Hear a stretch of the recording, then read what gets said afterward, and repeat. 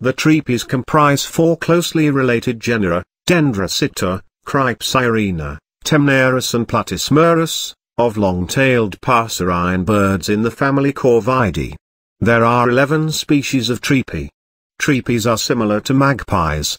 Most treepies are black, white, grey or brown. They are found in Southeast Asia.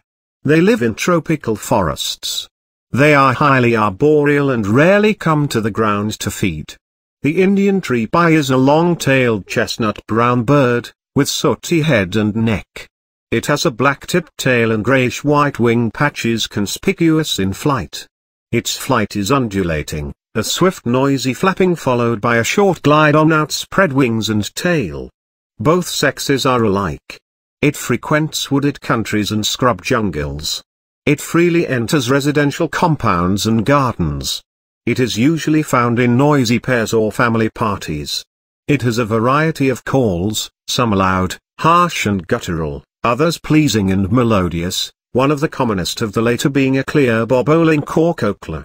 It is omnivorous like cows and will take fruits, insects, lizards, frogs, centipedes and even carrion, in addition to the eggs and helpless young of birds and rodents. Its nesting season is from February to July.